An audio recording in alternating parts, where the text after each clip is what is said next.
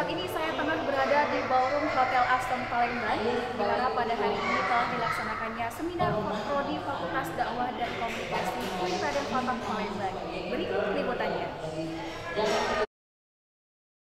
Seminar Fakultas Dakwah dan Komunikasi UIN Raden Fatah Palembang dengan tema Strategi Pengembangan Dakwah di Masa Pandemi COVID-19.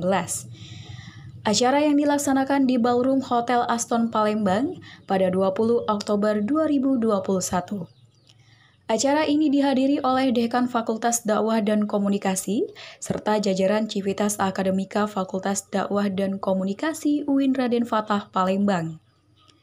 Chandra Darmawan M. Hum sebagai ketua pelaksana menanggapi bahwa acara yang dilakukan sangatlah positif terutama terdapat lima prodi dan terdapat juga dosen, stakeholder, mahasiswa, dan beberapa alumni. Sehingga dapat mendapatkan informasi dari pembincang yang punya kemampuan dan passionnya tersendiri. Selain itu juga dapat menambah ilmu tentunya dapat menambah hal-hal yang baru, bermanfaat untuk prodi, mahasiswa, dosen, dan tentunya untuk pengembangan fakultas dakwah dan komunikasi sendiri. Chandra juga menambahkan acara ini harus terus dilaksanakan, sehingga ilmu-ilmu terus berkembang dan informasi-informasi baru terus didapatkan dari orang-orang yang terbaik dan bisa mengambil manfaat dari mereka. Kalau tanggapan dengan acara ini eh, tentunya positif ya bahwa dari lima prodi tentunya akan terutama di sini undangan itu dosen, stakeholder dan beberapa alumni dan mahasiswa. Eh, artinya gini, kita mendapatkan informasi-informasi dan pembicaranya itu betul-betul eh, apa namanya betul-betul punya kemampuan ya, punya uh, passion passion masing-masing. Tentang MD passionnya di manajemen dakwah tersebut syarat di pengembangan masyarakat Islam dan di KPI tentang broadcasting. Dan ini tentunya menambah hal-hal yang baru yang mungkin kita menambah sesuatu yang tadinya kita tidak tahu menjadi tahu.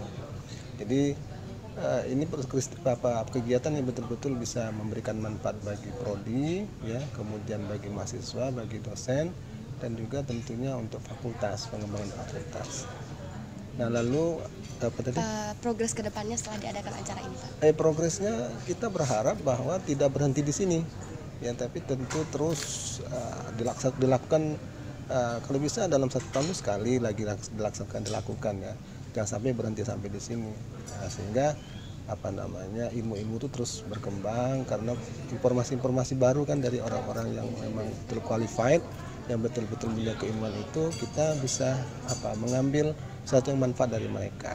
Ya, jadi progresnya saya berharap bahwa kegiatan ini akan terus kita lakukan dan tentunya eh, fakultas punya kepentingan-kepentingan juga ya prodi punya kepentingan fakultas punya kepentingan mahasiswa dan stakeholder juga punya kepentingan itu ya Acara yang dilaksanakan selama dua hari tersebut juga diisi oleh narasumber-narasumber terbaik. Untuk hari pertama sendiri diisi oleh tiga narasumber yaitu dengan tiga sesi. Sesi pertama diisi oleh Dr. Sarah SHMSI dengan tema interaksi sosial di masa pandemi. Di dalam penyampaiannya, interaksi melalui daring bukan berarti kita tidak smart menghadapi pandemi ini. Mahasiswa bisa memanfaatkan waktu luang di rumah dengan mengasah kemampuan dan dapat memanfaatkan kondisi ini sebaik mungkin. Uh, kita interaksi walaupun mungkin melalui daring ya, tapi bukan berarti kita harus apa tidak smart ya menghadapi pandemi ini kita bisa mengambil langkah sebagai mahasiswa tentunya dengan belajar di rumah menggunakan daring ya tapi kita tetap uh, menggunakan alat-alat bantu seperti untuk takdir silakan ya. kepada sudah para itu kita bisa ke, memanfaatkan waktu luang uh, di rumah dengan mengasah kemampuan. Misalnya kita punya keahlian membuat makanan kita bisa jual online. Dan setelah itu kita bisa manfaatkan uh, kondisi ini sebaik-baik mungkin. Tentunya tidak uh, tidak berdiam diri. Yang punya hobi bisa dilaksanakan hobinya. Jadi untuk mahasiswa anak-anakku semua terutama yang berada di daerah jangan dibuat suatu beban pandemi ini karena apa masih banyak cara untuk kita melaksanakan perkuliahan tentunya dengan belajar di rumah juga mempelajari ya situasi di sekitar kita apa yang bisa dimanfaatkan uh, untuk mahasiswa. Mungkin ini saja dari dulu.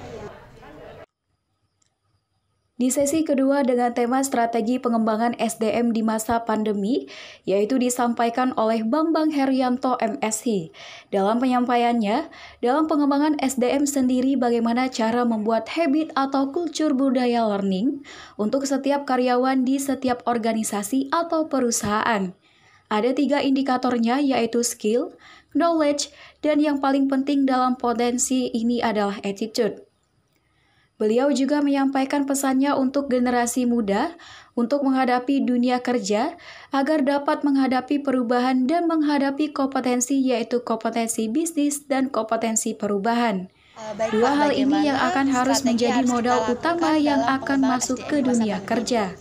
Uh, seperti yang saya sampaikan tadi materi bahwa pengembang SDM di sini bagaimana cara membuat habit atau culture uh, budaya learning untuk setiap karyawan di setiap organisasi dan perusahaan. Tentunya ada tiga indikator yang menjadi fokus di sini adalah skill, knowledge, dan attitude. Dan yang paling penting dalam fondasi kompetensi ini adalah attitude. Di agama kita pun diajarkan adab dulu baru baru ilmu. Apa pesan Bapak untuk kami para generasi muda agar setelah kita lulus, lulus kuliah nanti kita bisa menghadapi dunia kerja, Pak? Nah, buat teman-teman yang masih kuliah, terutama di Universitas Islam Negeri dan Fata Palembang, uh, jadilah orang yang agile dalam hal perubahan. Ada kompetensi yang perlu teman-teman hadapin di dunia perubahan saat ini yaitu kompetensi berkenaan bisnis, perkembangan bisnis yang ada dan kompetensi uh, perubahan. Jadi dua hal ini yang harus menjadi modal utama ketika teman-teman sudah dan akan masuk ke dunia kerja. Itu dulu sih.